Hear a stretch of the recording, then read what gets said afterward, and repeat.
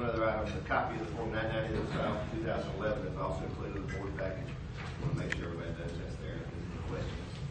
So, bring that up at a later time. Okay, Carl, and then, my understanding that is effective tax return. Yes, that's the tax return. Okay. Thank you very much, Carl. Uh, Let's next get on to um, what we're here for today. I want to